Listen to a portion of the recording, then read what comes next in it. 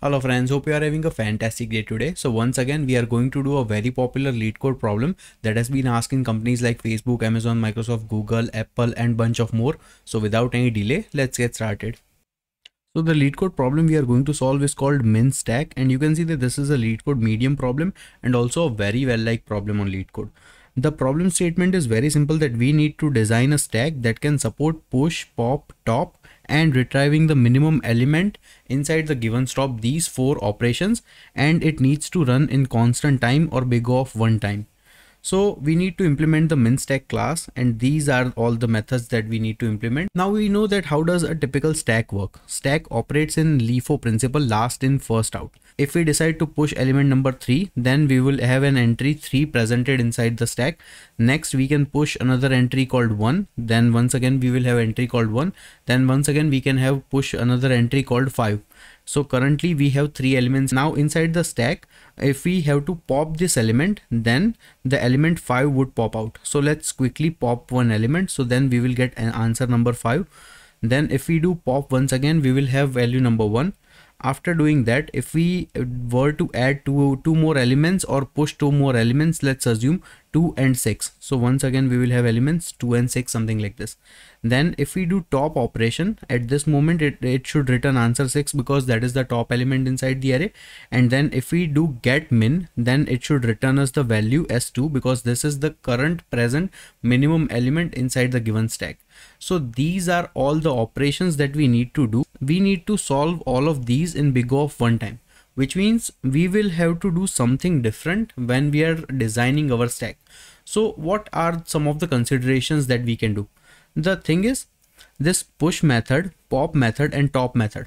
All of these three methods can operate in big O of one time, no issues with that in either case this get min is a little bit tricky because we will we will need to know that what is the minimum element at any given moment now the very first thing that comes to our mind is that when we are designing the stack, uh, why don't we just have a, an extra variable called min to keep track of the minimum value we have encountered so far.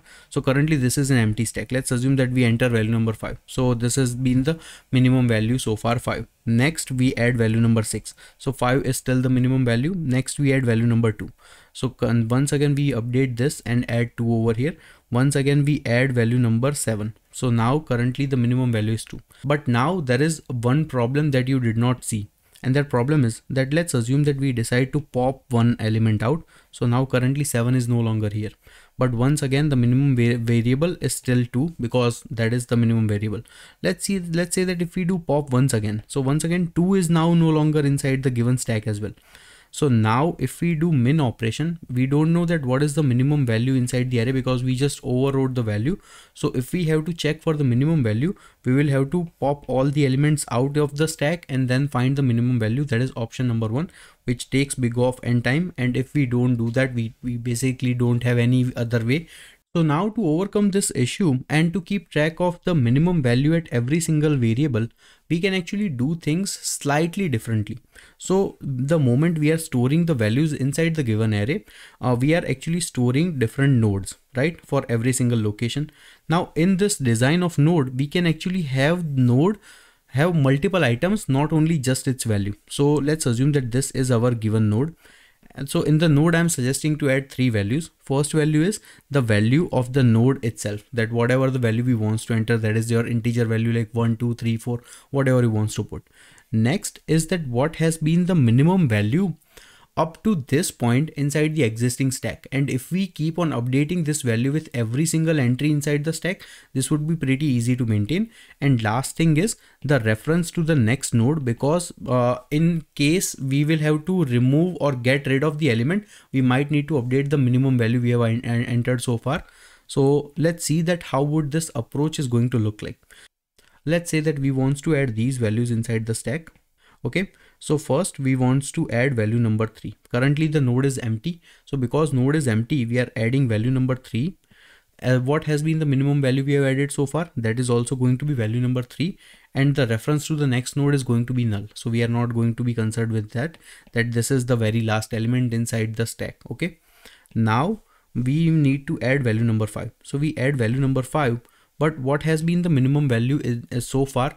So for that we can either check the minimum value of the next pointer using this next pointer. So we check that what has been the minimum value of the next pointer at location number 5 that is value number 3 and what is the value of this current uh, value we are trying to enter? That is value number 5 so whichever is the smaller number which is 3 in this case so we will uh, still mark 3 as the minimum value we have been able to find.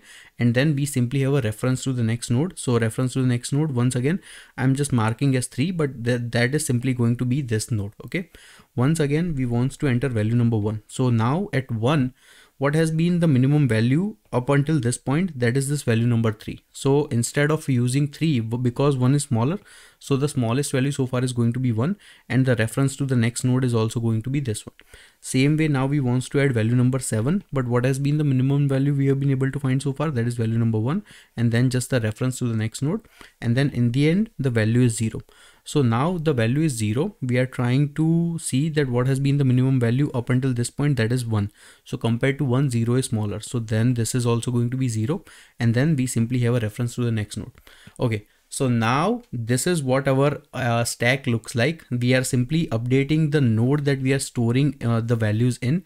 And now let's see each of the operation. So I just mentioned that push operation can happen in big O of one time because we are just simply pushing one node inside the stack uh, let's try to do a pop operation so pop operation can also happen in big O of one time because we are simply popping one element out so we will get rid of this element okay now once again let's try to do the top operation. So top operation we need we can return 7 immediately because that has been the latest value we, fi we find.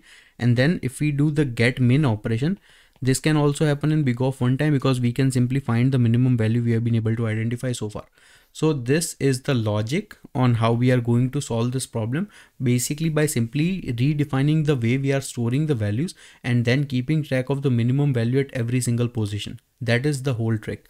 And if we see time complexity in this case, well, time complexity, we already know that that is going to be big O of one. And in terms of space complexity, uh, well, this is debatable, but I think it, it has to be big O of one because anyways, we are being asked to create a stack. So we cannot create extra space for that. So first let's define the node for our given class where we are going to store three values. First one is the value of any particular position. Next is the min value and third is the reference to the next node. And this is just a simple constructor to store the values. Okay, now coming back to our main class, we are going to have a private node head and we are going to initialize our data structure here. Next, we are going to have a main push method. So whenever we need to push any single entry so if the value is very first then we are simply going to provide the value as it is. Then minimum value is also going to be the same value because there are no other entries inside the stack. And then the next element would be simply null. If that is not the case we are going to add a new node where we are going to keep the value as it is. Then for the minimum value we are actually going to compare it with the current value and the minimum value we have been able to find so far and that we can simply find uh, using the next node. And then as a part of the next node we are simply going to point to the head node. And this is going to be keep on updating with every single entry. Uh, for the pop it's very simple. We simply uh, take the very first element that is currently present. For the top we simply return the very first element. And then inside the for the get min method we simply return the minimum value for the head and this is the whole solution. Let's try to run the code. Okay, seems like our solution is working as expected. Let's submit this code. And our code runs extremely fast compared to a lot of other solutions in terms of time complexity and very efficient in terms of space complexity. So once again, I would be posting this in our GitHub repository so you can check it out from there. Thank you.